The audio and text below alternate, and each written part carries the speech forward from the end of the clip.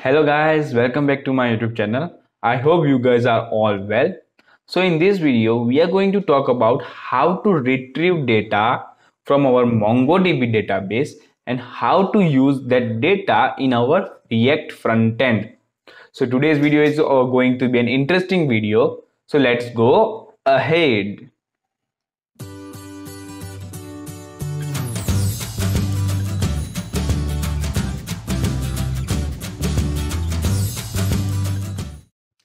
so how to retrieve data from our mongodb database? Like we have suppose we have to retrieve this data this product data. So here we are going to create another api to get the data okay? To get the data. So like this. Here as we can add the product we have to get the product. And here we are going to use a get method. As you can see the post means to post some data and here we are going to use get to get some data. Okay? So here app dot get app dot get and here type products dot get to get the data. Okay? So now inside it we get the request means request or response as a parameter. And then here we are going to access this products schema. And inside it we want to find our data. Error. Suppose if uh, here we are going to run a callback function inside this find method error or data. And then we want to run a statement if error it will send the data response the data status 500 dot send error. Similarly run a else statement here. Res dot status 200 dot send data and save it okay so this is the api and this is the method from which we can get the data from our products from our product schema. This is the schema. This is the model. This is the collection. Okay? Now we have to get the data. Now we have uh, create an api from which we can get the data. So now go to the uh, our home page go to our home page where our products display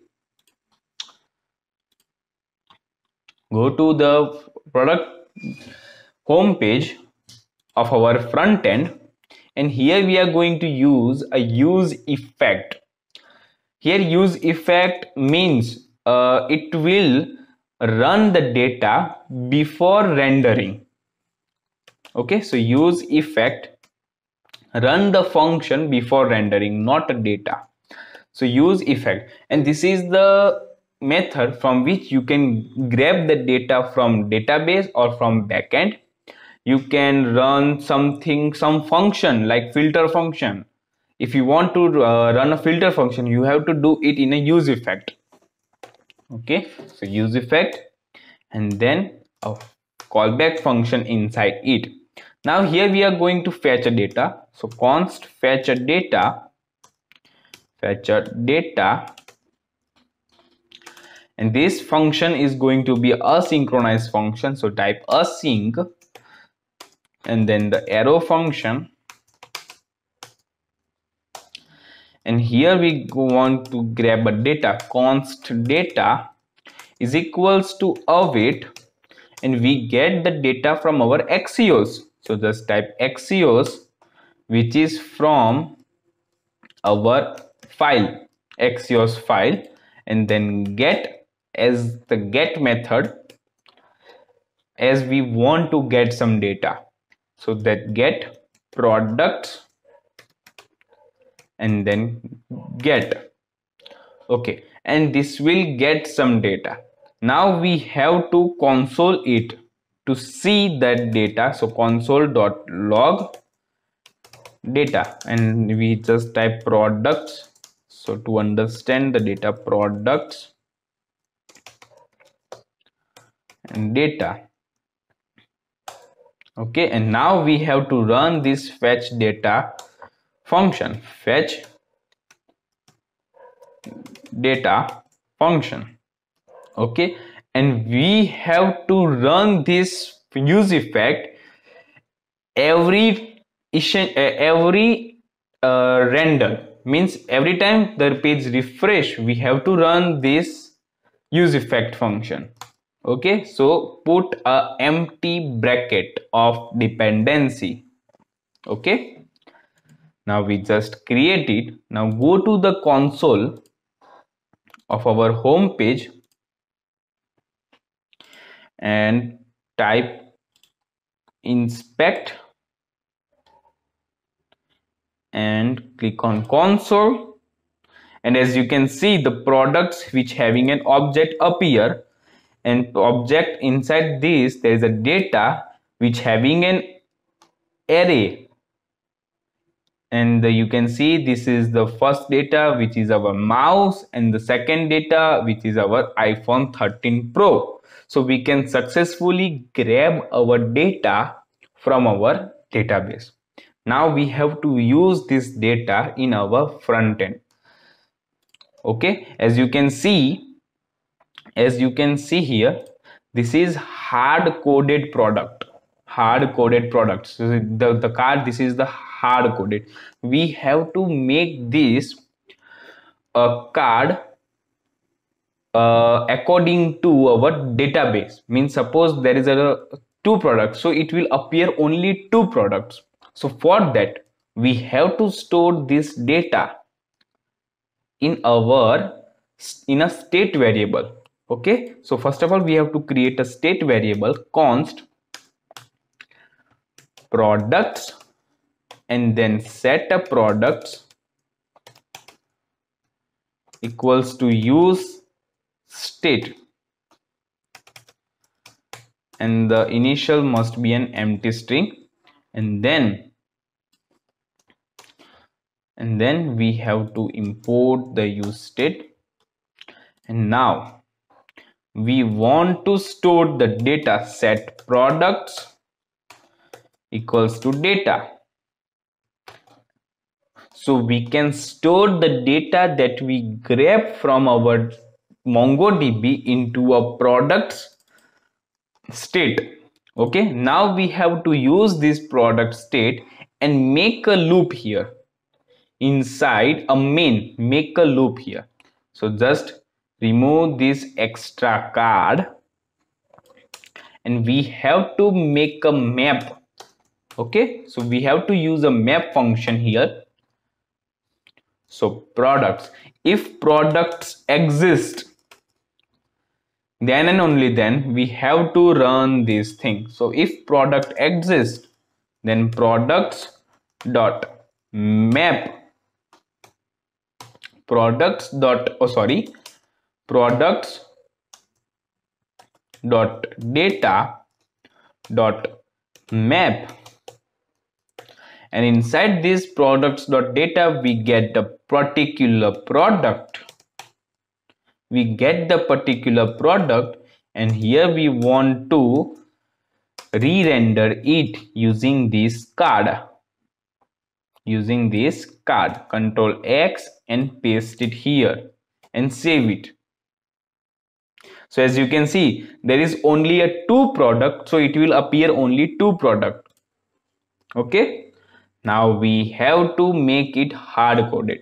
So here we want only id is equals to product dot underscore id so this is the id and instead of this image we want product dot image image url and whenever I click on it it doesn't work. Why? Because image URL is not appearing I didn't see that. Image is not stored inside it. Why? Because we just misspell it in our add product. So here add product image url but in our schema products.schema we forgot capital l. Okay? So this is the problem. This is the thing now we have to correct this thing and we have to add a product again. So delete the uh, products these products. And again we have to store the product. So copy this image. So copy image address and go to react app. This then the title is this. Price is 11900 and the rating is 5 star and we have to add the product. So we can add the product successfully. Go to the, our home page and you can see image is appearing now successfully. Okay. Now we have to assign a price here. So product dot product dot price. Save it so price is appearing now. Now similarly we have to assign a rating. So product dot rating save it. And we have to refresh it again. And as you can see here five star rating is appearing now. Similarly we have to type product dot title and save it. And as you can see the title is also appearing now now we can use the particular data from our MongoDB database using our Node.js backend. Similarly, we have to add some another add another product here. Now, we, suppose we want to add uh, iPhone 13 in the gold color. So just copy the image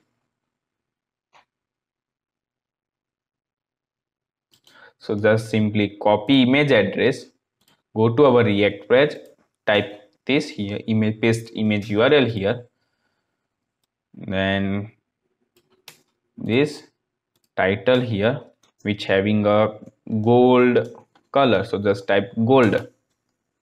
And the price is going to be a 12999 and the rating is 4.5 4.5 and add a product and whenever you go back to the home page and as you can see the product appear which having a gold color and the price is similarly.